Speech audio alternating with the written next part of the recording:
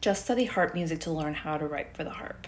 Here's why I disagree with the statement. Even though the harp is one of the oldest instruments, it is actually a very recent evolution to have a harp like this.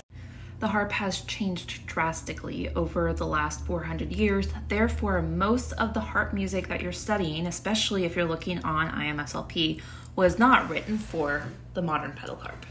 In the Baroque era, the harp actually did not have pedals. Um, this is an example of the Italian triple strung harp. So, a lot of the music that was written in the Baroque era, the few pieces written for harp, such as the Handel Harp Concerto, was written for this harp, not a pedal harp. Now, the single action pedal harp was invented around the time of Mozart. So, the Mozart Flute and Harp Concerto was written for a pedal harp, but the pedal harp in that era was a single action pedal harp, meaning that you could only have two pitches per string instead of the current three.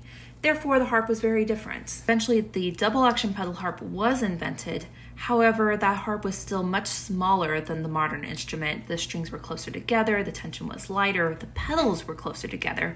That completely changed how you played the harp. Therefore, the music that was written in that era, such as Berlioz' Symphonie Fantastique, the Wagner operas, were written for a very different harp. As you can see, the modern pedal harp is a much sturdier instrument, therefore has different capabilities.